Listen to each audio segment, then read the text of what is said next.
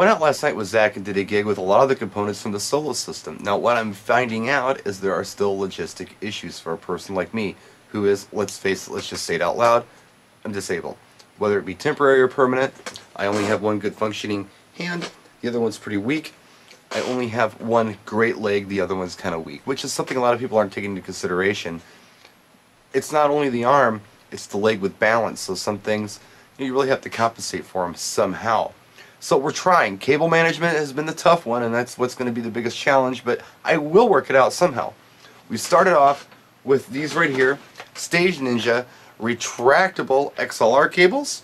Now, see if I can hang on to it with one hand here, I can show you somehow. Well, I, you're not seeing it in the video, but you know, I can't kind of hang on to it and pull the cable out, and then give it a quick tug, and you know, it, it recoils. But I had an AC problem too. I mean, no matter what we do, we still have to get AC from the wall to the mobile setup. And I don't want to wind a big AC cable, so here's what I came up with. What you're looking at is a 30 foot retractable extension cord. I got it at Home Depot for $29. It's made by a company called Bayco. It's not really made for our use, but it was a good starting point for what I want to do. Now, let me see if I can demonstrate here. It works the same way as the Stage Ninja. I'll just lean my arm on here. It's a recoil. You pull this out, and it recoils. Give it a tug, it comes back in. You know, but the problem is, we don't really have a proper handle on here like we do on the Ninja. It's built for a different purpose. As you can see on the box top here, they've got it as an install. Here it is in a garage, here it is in a shop. I'm going to buy more of these because this is brilliant for me doing lighting demos down here in the studio. Don't have to wind and unwind cords all the time. It's going to make things easy. But I need to give props to Mr. B. Klein31 on YouTube who gave me a cool idea. Check this out.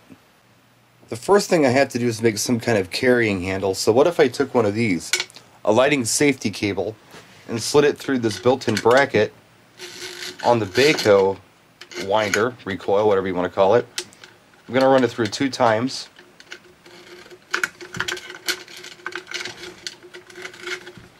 This all takes time, one-handed of course. People get the other hand involved. oh yeah, the challenges we have. There we go. Now we have a handle. This is the hand cart that I use for most of my gigs. I assume I'm going to use it for the solo rig too. I can physically handle it. It's aluminum, it's heavy duty, and it's very stable. So now that we have this with the safety cable attached, what if I hung it right here on the handle of the cart, took my good leg, put on the cart to support it, just started pulling out as much cable as I needed.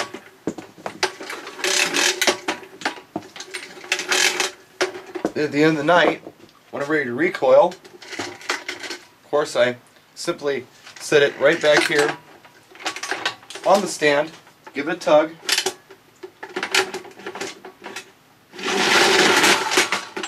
it takes care of itself. Now unless somebody has a better idea, I will go with this option. It's actually pretty cool. Once again, thanks Mr. B. Klein 31 for giving me the idea of using the cart as my other hand. I'm open to ideas though. If you guys got a better idea, let me know what it is. We still have logistical issues to go through on all the other cabling. But I'm just going to say, this has been fun and challenging at the same time. It continues to be you have a couple of different things you have to take into consideration when you're building something like this. Some things have to be lightweight. They just have to be, because otherwise you're not going to be able to handle them. Other things are actually going to get heavier. But you've got to break them down into small enough bags and things to carry them. Perfect example, this Bayco recoil extension cord. Weighs a lot more than a standard extension cord would, probably at least twice the weight. I'm going to guess it weighs between 8 and 10 pounds. I don't have an exact weight for it but your extension cords are usually under 5. So there you go. Got any ideas, let me know. Once again, thanks Mr. Klein. Appreciate your input. Practice and enjoy.